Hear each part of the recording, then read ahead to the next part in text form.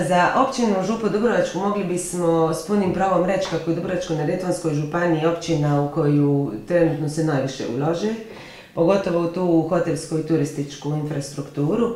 S obzirom na očekivane investicije, e, za očekivati je i da će se proračun općine isto tako poboljšati. Stoga je pred vama, ajdemo tako reći, izazovno vrijeme kako potrošiti taj novac. Naime, koje su, e, koja su ulaganja općinska planirana u narednom vremenu koja će poboljšati, uvijek mislimo i govorimo o standardu i kvaliteti žitelja općine Župe Dubrovačke. Pa dobro, slažem se s vama da je u Župi se danas e, odvijaju značajne investicije, ne samo na nivou Županije, nego rekao bi na nivou cijele Hrvatske. Dakle, vjerujem da je ovo jedna od e, ako ne naj, najznačajnije, onda sigurno jedna od značajnijih investicija u turizam koji se danas događa na području Župe Dubrovačke. Dakle, posjetimo se još prošle godine, započeo je program ulaganja hotela Dubrovačka rivijera, dakle, jedne tvrtke koja je nastala od bivših hotela Mljeni i hotela Srebreno, gdje je većinski vlasnik HUP Zagreb, dakle, domaći investitor. U njihovom vlasništvu su praktično tri hotela, dakle, naj, rekao bi najznačajniji kapaciteti na području Župe Dubrovačke, hotel Staraja, hotel Mlini i hotel Orlando, bivši hotel Orlando. E, još, znači, prije prošlogodišnje turističke sezone započeti taj program uh, ulaganjem u sam hotel Sarajevo, e, dakle, ispod hotela Sarajevo izgradnjom uh, bazena, vanjskog bazena, jednog plažnog objekta, rekonstrukcijom, odnosno izgradnjom novih bungalova, tako da smo u tom dijelu župe, dakle u Mlinima, dobili značajne E, nove kapacitete, ali i nove sadržaje. E, to je bio početak investicije, dakle, koja se procjenjuje ukupno nešto malo manje od 50 milijuna e, eura, dakle, nekih 350-360 milijuna kuna. Ono što je značajnije, što je krenulo tijekom ove godine, dakle, radi se ulaganjima u Hotel Mini i Hotel Orlando. Sjetimo se da je prošle, godine, dakle, pred samu turističku sezonu, srušen postojeći Hotel Orlando, Ove godine je isto napravljeno sa hotelom Mljenima. Investitor je ishodio svu potrebnu dokumentaciju i ti su radovi krenuli dakle, početkom ove godine. I u hotel Orlando i u hotel Mline, tako da se očekuje da će ta investicija završiti do konca ove godine. Nažalost, ovu turističku sezonu za župu je izgubljena, međutim e, za ovu narednu dakle očekujemo apsolutno nove kapacitete, dakle ukupni, kapacitet o kojemu govorimo je u ova tri vrlo značajna hotelska objekta je nešto malo manje od 1500 kreveta. Dakle to je jednako vrijedno kao recimo kupari koji, dakle, koji imaju maksimalni mogućih 1500 ležaja. Dakle, praktično pet hotela koji od domovinskog rata, nažalost, su još uvijek devastirani, još uvijek neprivatizirani. E, nedavno je vlada raspisala jedan e, pozivni natječaj, dakle, prikupljanje neobvezujućih ponuda. Tako da je na taj natječaj se javilo ukupno šest potencijalnih investitora, međutim to ne znači ništa, obzirom da je evo sad trenutno u pripremi dakle, program za kupare gdje će se točno definira odnosi, znači radi se o ne prodaji državnog zemljišta, već e, ostvarenju prava gradnje. Evo, kako upravo danas ima informaciju da je katastar stupio na snagu, dakle, to je bilo jedan od, e, rekao ključnih uvjeta za privatizaciju Kupara. Sjetimo se da je ranije već e, utvrđena je granica pomorskog dobra. Dakle, govorimo ovdje o jednom dijelu Kupara, praktično Kupari su tri dijela, mi ga danas govorimo od nekih 12 do 13 hektara državnog zemljišta gdje se nalazi danas e, pet devastiranih hotelskih objekata, znači Hotel Grand 1 i 2, Hotel Goričina, Hotel Peregrin, Hotel Kupari. E, ono što nam predstoji u budućnosti je svakako i privatizacija e, drugog dijela Kupara, znači radi se o također nekih 12 do 13 hektara neizgrađenog turističkog zemljišta, gdje će Znači, to će biti predmet nekakve sljedeće privatizacije, a također i sastavni dio Kupara je e, sadašnji autokamp, ali koji u ovom momentu nije predmet privatizacije. Dakle, isključivo govorimo od ovih 12 do 13 hektara državnog zemljišta, takozvani urbanički plan Kupar 1 sa ovih pet e, devastiranih objekata. E, dakle, očekuje se da će se nakon završetka ovog programa, nakon izrade ovog programa, da će se krenuti u međunarodni natječaj gdje će se izabrati najpovoljniji investitor za ostvarenje prava gradnje na jedan dugi niz godina, dakle predviđa se ukupno 99 godina. E, mi što u Župi Dubrovačkoj očekujemo dakle, te naknade onda bi se trebala dijeliti 25% u korist e, lokalnog proračuna, dakle proračuna općine Župa Dubrovačka, a ostatak u, u proračunu Republike Hrvatske. E, obzirom na investicije koje su pred vama, otvaranje novih hotelskih kapaciteta i objekata, začekivati je da u župi ne bi trebalo biti nezaposlenih. Kako je sad po tom pitanju u općini? Pa ja vjerujem da neće biti e, nezaposleni kad se sve stavi u funkciju. Dakle, zaboravili smo spomenuti i hotelsko naselje Plat, također sa nekih 1200 ili 300 kreveta koji u ovom trenutku još uvijek nisu privatizirani, ali se njihova privatizacija očekuje do kraja ove godine. Dakle, i Plat će dobiti e, svog vlasnika. A e, možemo slobodno u prijašnjem jednom razgovoru kojega smo vodili, ovaj, smo uspominjali župu kao zapravo općinu mladih obitelji.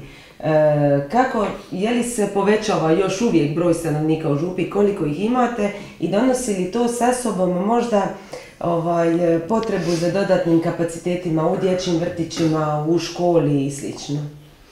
Pa svakako, svakako, dakle, evo sjetimo se, znači, u zadnjih deset godina, od predzadnjeg do zadnjeg popisa stanovništva Župa je narasla na, dakle, za 2000 žitelja više u deset godina, to je značajan broj. Dakle, danas Župa ukupno broji oko 8.500 stanovnika. Uglavnom ovo doseljavanje, dakle, ovih 2000 koji su među vremenu došli u župu, dakle, koji, koji žive još danas u župi Dubrovačkoj, su mahom mlade obitelji sa djecom. To najbolje vidimo po broju djece u, jaslicama i dječjem vrtiću, ali također i u školi. E, taj trend nešto opada ako je sudit po, dakle, po broju novorođene djece iz godine u godinu. Dakle, prije par godina smo imali oko 130 novorođenčadi tijekom godine, danas je to nešto malo manje, dakle, među 90 i 100. Dakle, taj trend pomalo pada i sama stanogradnja je nešto usporila, tako da je taj se broj još uvijek povećava, ali dakle ne onim onom brzinom kako je to bilo ranije. Projektiranjem našeg dječjeg vrtića ovdje e, prije nekih deseta godina bio je siguran broj za 250 ukupno djece, što u Jastama, što u dječjem vrtiću. Danas dječji vrtić Župa Durovačka broji 475 djece. Dakle, jedan ogroman broj, praktično smo sve raspoložive prostore koje smo imali na raspolaganju pretvorili u vrtić i još uvijek nismo zadovoljili e, sve potrebe koje Župa danas ima, odnosno koje njeni stanovnici imaju. Znači, u tom cilju razmišljamo o otvaranju novog vrtića. Sjetimo se da je prije par godina od Drovnica vlade Republike Hrvatske općina Župa Dubrovačka dobila e, zemljište u Kuparima.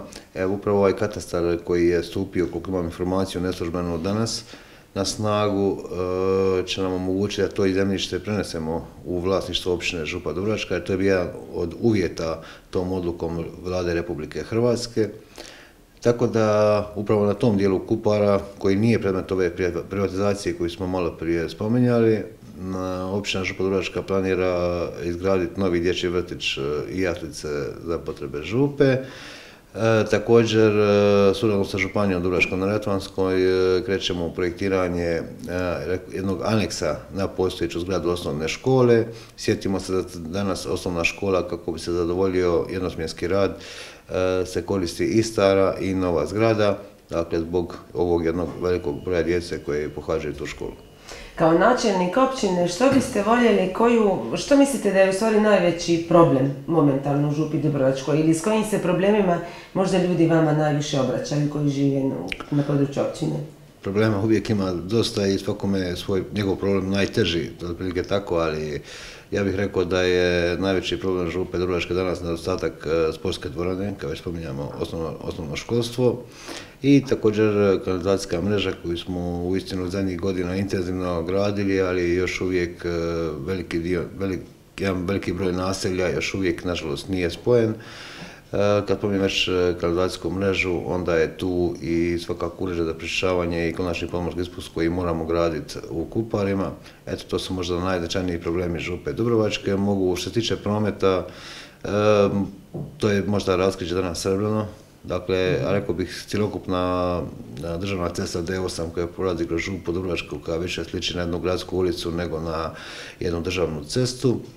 Ali stanje tako kako jest, taj se problem neće riješiti sam po sebi, dakle on jedino po meni je rješenje e, izgradnje jedne obilaznice župe, odnosno brze ceste ili neke druge ceste koja će poći nešto sjevernije od e, župskih naselja i spojiti zračnu luku sa Dobrovnikom, a jedna, jedan od tih, jedna od tih stvari je svakako i projekt e, novog raskrižja u Srebrnom, za koji smo evo, među vremenu od izgradnje dakle, ovakvog sadašnjeg raskrižja koje je bilo prije nekih tri godine otprilike, smo riješili praktično vlasništvo nad zemljištem i na taj način osigurali prostor za izgradnju novog raskrižja, znači koje će biti kudikamo kvalitetnije i bolje i protočnije nego što je ovo današnje. Kako biste ocijenili suradnju sa svojim najbližim susjedima, to je sa općinom Konavle i s gradom Dubrovnikom? Pa evo, uistinu nas puno stvari nas veže i sa Konavljima, a posebno rekao bih sa gradom Dubrovnikom, obzirom da smo i mi suvlasnici svih javnih e, društava. nama, dakle, nisu sva ta društva od posebnog značaja, ali neka jesu definitivno, kao što je Vodovod Dubrovnik, kao što je Libertas, e, Perlitat možda jednom, jednom dijelu. E, dakle, zaista to još uvijek sve skupa štima, imamo možda određene probleme sa javnim gradskim prevozom, Međutim, mislim da je još to uvijek sve skupa na jednoj e, zadovoljavajućoj razini. A dobro je li vas strah da sad kad postanete veliki proračunski neko bude htio prispojiti sebi? Pa mislim da nikad da takve, takve ideje nikome neće pas na pamet. E, župa se dakle odvojila referendumom ogromnom većinom građana Župe Dubrovačke i vjerujem da su i oni možda skeptici koji su se te, znači 96. ili 7. godine kad se taj referendum provodio, koji su tada bili malo skeptični prema toj ideji, da su danas, da su danas apsolutno sigurni da je bio pun pogodak osnivanja vlastite općine i dakle držim da se, da se mi u Šupi na najbolji mogući način možemo brinuti o svim problemima i rješavati ih sukladno našim mogućnostima, da bi to bilo u okviru nekakve druge jedinice zajedno sa glavnom Dubrovnikom ili nečim drugim da bi to sigurno išlo puno sporije i puno lošije. Još samo za kraj, je li kao HDZ-ov e, dugogodišnji načelnik osjećate stanovitu problematiku u komunikaciji sad sa, ajdemo reći, drugčije stranački obojenom vladom nego što je to bilo dok je bila pa, vlada iz vaše stranke? Ne, ne, da pa će, evo, samo, dakle, e, kad već spomenemo Kupare, malo prije e, mogu se pohvaliti da sam od strane vlade imenovan za člana povjerenstva u ovoj priči koja se tiče Kupara, dakle i dosta sam znači učestvovao u, toj priči, a i u buduće, znači i u ovom programu i, i izboru najpovoljnijeg investitora, što vjerujem da će se dogoditi za koji mjesec. Znači, po raspisivanju ovog natječaja i uistinu sam zahvalan dakle, vladi Republike Hrvatske što je nije zabrala lokalnu upravu eh, i što je meni imenovala u, u to povjerenstvo i vjerujem da je uistinu na taj način pokazala jednu želju za dobrom suradnjom između vlade i lokalne uprave. Hvala puno. Hvala vam.